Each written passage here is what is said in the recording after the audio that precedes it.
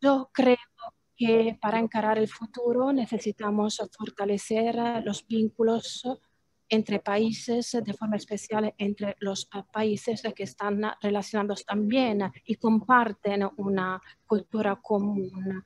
Los dos temas que están en la base de esta cita, las ciudades verdes y la economía circular, son temas muy conectados. Italia cuenta con una experiencia muy importante. La economía circular es una economía que conocemos muy eh, bien. Quizás Italia es el país más avanzado en Europa, recuperó eh, muchas mm, eh, posiciones en, las clasificas em, europeas, en las clasificaciones europeas.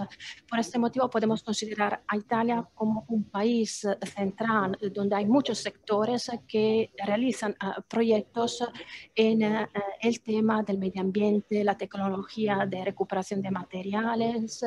Por ejemplo, en la ciudad de Brescia, en el norte de Italia, hay empresas que trabajan en el sector uh, textil para la recuperación de los residuos textiles.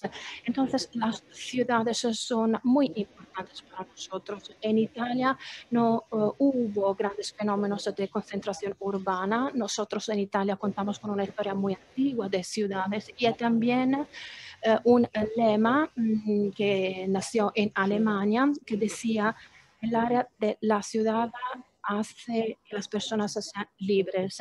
En Italia, 1200, en 1257 se estableció que todos los esclavos que llegaran a las ciudades se consideraran consideraran hombres libres. Entonces eh, ya allí se podía entender el hecho de que en Italia había esta eh, gran eh, actitud en el siglo 14 en Italia se empezaron a desarrollar las ciudades y más del veintiuno de las eh, eh, y más del veintiuno por ciento de las eh, ciudades de las personas vive en las ciudades. Y si hacemos una comparación con la población europea podemos decir que la presencia en las ciudades en Italia es inferior en comparación con las demás ciudades europeas.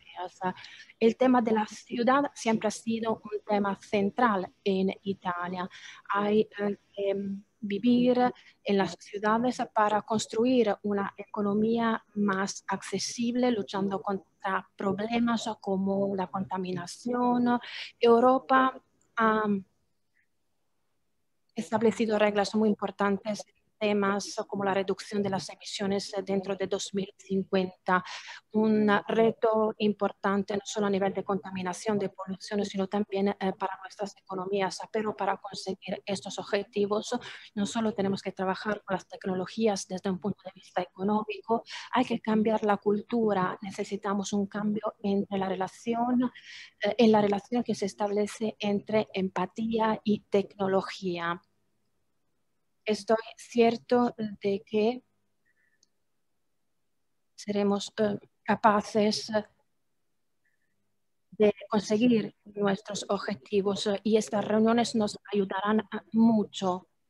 Estos eh, eventos son importantes para los retos futuros. Aristóteles decía que las ciudades se hicieron junto con la, amistad. Yo creo que la amistad se creó dentro de la ciudad, pero nosotros necesitamos amistades entre pueblos, pueblos que quizás comparten las mismas ah, raíces. Así que nosotros con estos eventos queremos solo dar una pequeña contribución.